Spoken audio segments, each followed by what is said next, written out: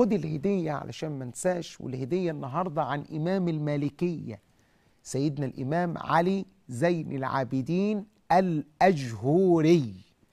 هذا إمام المالكية في عصره.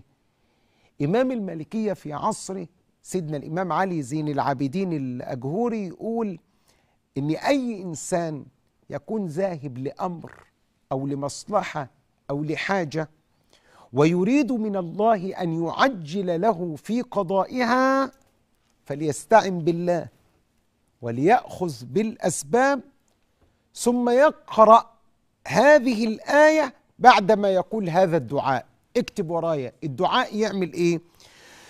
بعد طبعا ما يتوضى ويصلي على سيدنا الحبيب يقول اللهم أنت لها ولكل حاجة فاقضها. ويسمي الحاجة بتاعته اللي هو عايزها فاقضها بفضل بسم الله الرحمن الرحيم.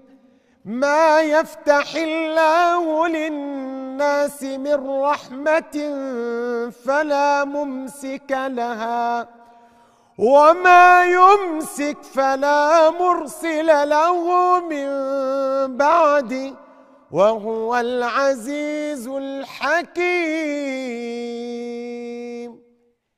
لو انت حضرتك قلت الدعاء ده وقرأت هذه الآية سيقضي الله لك الحاجات وسيس وسييسر لك الأمور بفضل الله سبحانه وتعالى.